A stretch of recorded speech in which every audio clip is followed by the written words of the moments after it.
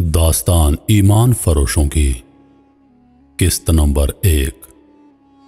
तुम परिंदों से दिल बहलाया करो, सिपागरी उस आदमी के लिए एक खतरनाक खेल है, जो औरत और शबाब का दिल दादा हो। ये अल्फाज अप्रैल 1175 में सुल्तान सलाहुद्दीन अयूबी ने अपने चचाजाद भाई खलीफा अल साले के एक अमीर सैफुद्दीन को लिखे थे। उन दोनों ने सलीबियों को दरपर्दा मदद और जवाहरात का लालच दिया। और सुल्तान सलाहुद्दीन अयूबी को शिकस्त देने की साजिश की थी। सलीबी यही चाहते थे। उन्होंने हमला किया। अल साले और सैफुद्दीन ने उनकी मदद की। सलाहुद्दीन अयूबी ने उन सबको शिकस्त दी।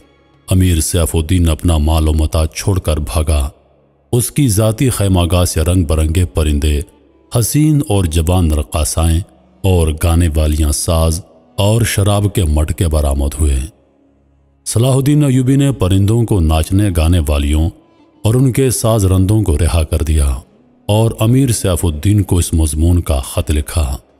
तुम दोनों ने कफार की पुष्ट पनाही करके उनके हाथों मेरा नामो निशान मिटाने की नापाक कोशिश की, मगर यह ना सोचा कि तुम्हारी ये साजिश आलिम इस्लाम का भी नामो निशान मिटा सकती है। तुम अगर मुझसे हसद करते तो मुझे कत्ल करा दिया होता। तुम मुझ पर दो कातिलाना हमले करा चुके हो। दोनों नाकाम रहे। अब एक और कोशिश करके देख लो। हो सकता है कामयाब हो जाओ। अगर तुम मुझे यकीन दिला दो कि मेरा सर मेरे तन से जुदा हो जाए तो रब काबा की कसम मैं तुम्हारी तलवार से अपना सर कटवाऊँगा और तुम्हारे कदमों में रख देने की वसीयत करूँगा।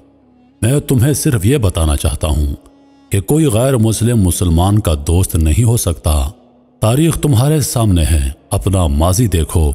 शाह फ्रैंक और रिमांड जैसे इस्लाम दुश्मन सलीबी तुम्हारे दोस्त सिर्फ़ इसलिए बने कि तुमने उन्हें मुसलमानों के खिलाफ मैदान में उतरने की मदद दी।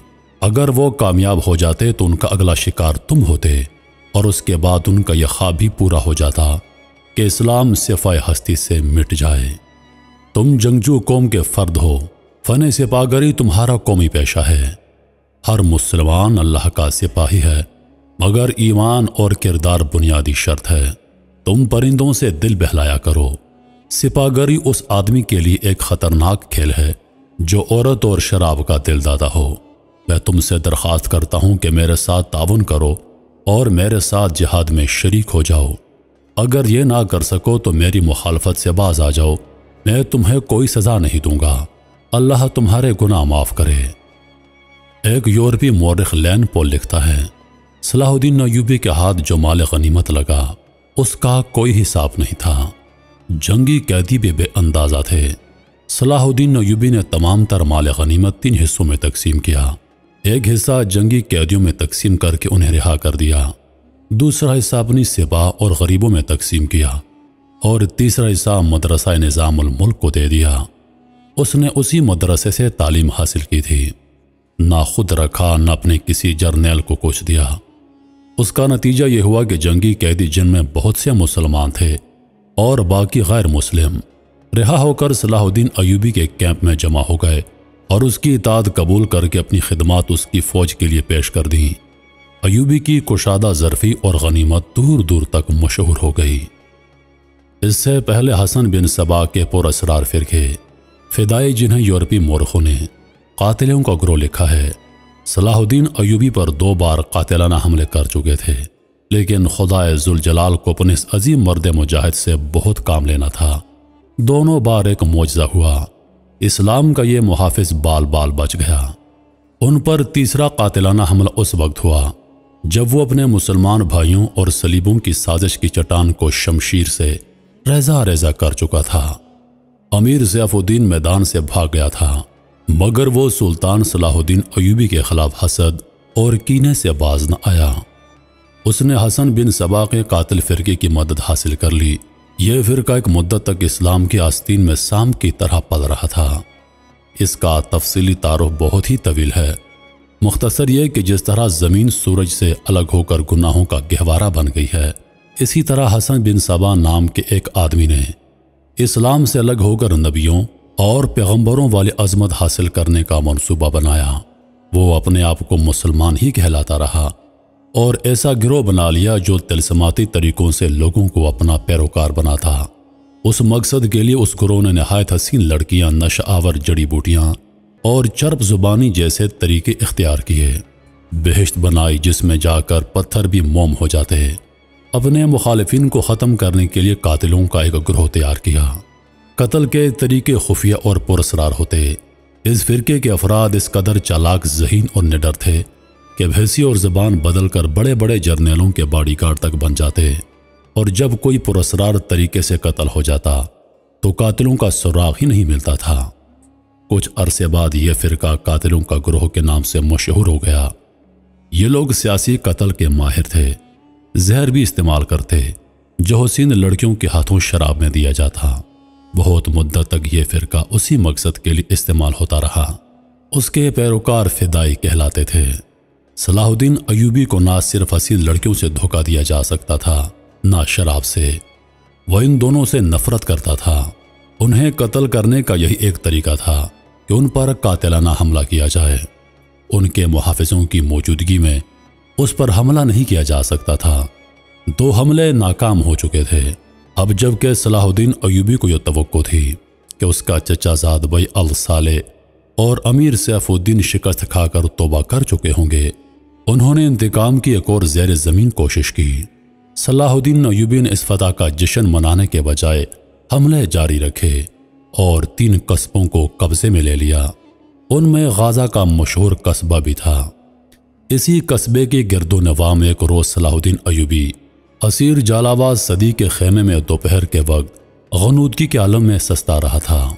उन्होंने अपनी वो पगड़ी नहीं उतारी थी, जो मैदान जंग में उनके सर को सहरा के सूरज और दुश्मन की तलवार से महफूज रखती थी।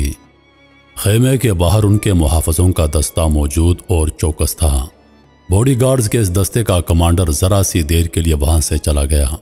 एक मुहाफिज ने सलाहुद्दीन अयूबी के खेमे के गिरे हुए पर्दों में से झांका। इस्लाम की अजमत के पासबान की आँखें बंद थीं। वो पीठ के बल लेटा हुआ था। इस मुहाफिज ने बॉडीगार्ड्स की तरफ़ देखा। उनमें से तीन चार बॉडीगार्ड्स ने उसकी तरफ़ देखा।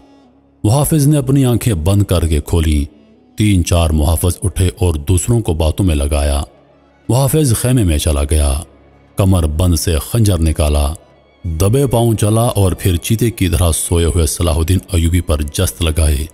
खंजर वाला हाथ ऊपर उठा एन उस वक्त सलाहुद्दीन अयूबी ने करवट बदल ली यह नहीं बताया जा सकता कि मुहाफिज खंजर कहाँ मारना चाहता था दिल में या सीने में मगर हुआ यूँ कि खंजर सलाहुद्दीन अयूबी की पगड़ी के बालाई हिस्से में उतर गया और सर से बाल बराबर दूर रहा पगड़ी सर से उतर गई सलाहुद्दीन अयूबी बिजली की तरह उठे उन्हें यह समझने में देर ना लगी कि यह सब क्या है उन पर इससे पहले भी दो हमले हो चुके थे।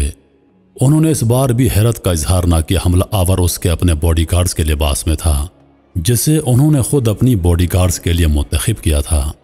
उन्होंने एक सांस जितना अरसा भी ज़ाया ना किया। हमला आवर उनकी पगड़ी से खंजर खींच रहा था, अयूबी सर से नंगा था। उसने हमला आवर की ठोड़ी पर पूरी ताकत से घोंसा मारा। हड्डी टूटने की आवाज़ सुनाई दी। हमला आवर का जबड़ा टूट गया। वो पीछे को गिरा और उसके मुँह से हैबतनाक आवाज़ निकली। उसका खंजर सलाहुद्दीन अयूबी की पगड़ी में रह गया। अयूबी ने अपना खंजर निकाल लिया। इतने में दो मुहाफज दौड़ते अंदर आए। उनके हाथों में तलवारें थीं। सलाहुद्दीन अयूबी ने उन्हें कहा कि इसे ज़िंदा पकड़ लो, मगर ये दोनों मुहाफ़ सलाहुद्दीन अयूबी पर टूट पड़े। सलाहुद्दीन अयूबी ने एक खंजर से दो तलवारों का मुकाबला किया। यह मुकाबला एक दो मिनट का था क्योंकि तमाम बॉडीगार्ड्स अंदर आ गए थे। सलाहुद्दीन अयूबी ये देखकर हैरान रह गया कि उसके बॉडीगार्ड्स दो हिस्सों में तकसीम होकर एक दूसरे को लहूलुहान कर रहे हैं। उन्हें चूँकि मालूम नहीं था कि इनमें इसका दुश्मन कौन और दोस्त कौन है, वो इस मार्के में शरीक ना हो सका।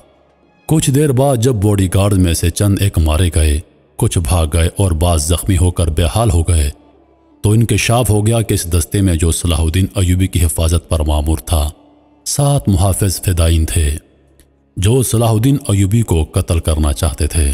अंदर सूरत हाल बदल गई, चुनाचे बाकी भी अंदर चले गए। असल मुहाफ़ भी अंदर गए। वो सूरत हाल समझ गए और सलाहुद्दीन अयूबी बच गए। उन्होंने अपने पहले हमला आवर की शेरक पर तलवार टोक कर कहा, वो कौन है और उसे किसने भेजा है? सच बोलने के बदले सलाहुद्दीन अयूबी ने उसे जान बख्शी का वादा दिया। उसने बता दिया कि वह फिदाई है और उसे कमेश्तकन, जिसे बाज मोरखों ने गमश्तगीन लिखा है, उसने इस काम के लिए भेजा था। कमिश्तकन और साल एक किले का गवर्नर था। असल कहानी सुनाने से पहले यह ज़रूरी मालूम होता है कि इन वाक़ात से पहले के दौर को देखा जाए। सलाहुद्दीन अयूबी के नाम, उस उनकी अजमत और तारीख़ इस्लाम में उनके मुकाम और कारनामों से कौन वाकिफ नहीं था। मिलत इस्लामिया तो उन्हें भूल ही नहीं सकती।